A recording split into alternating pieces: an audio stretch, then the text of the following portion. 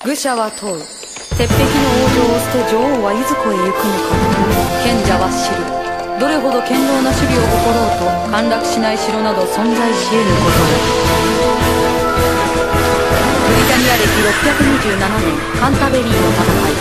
パーシファル騎士団長率いる第4騎士団ローバーより上陸した帝国軍第一陣を迎え撃ちカンタベリー平原にて開戦。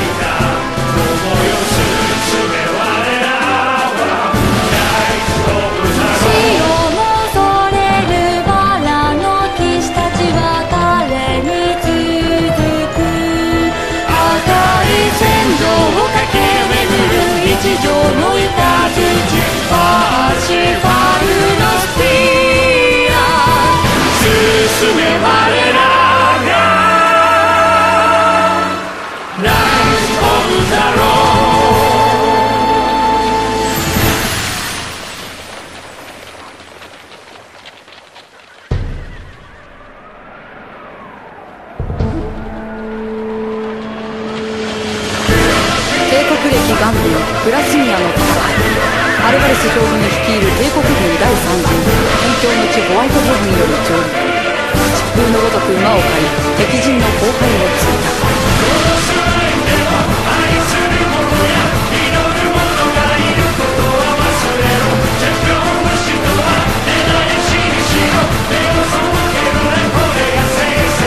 燃え上がる山荘虐殺される人々逃げ遅れた娘追いかける男馬上で耳を引き絞り獲物に狙いを定め放たれた火襲う娘の身をかす転倒した娘飛び出した男娘に振り下ろされた白人を弾き返す動かない娘。向かい合う2人の男。こなた白馬のアルバレス彼方黒馬のゲーフォンバウアー。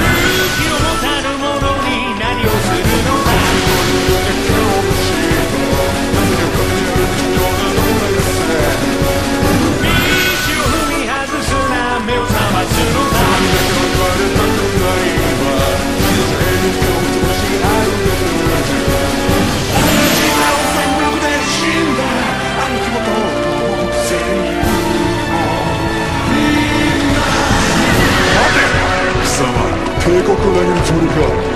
まあそれもよかろう。アルベルチョ貴様を殺す男の名を忘れる。その男の名こそケーペンバウアーだ。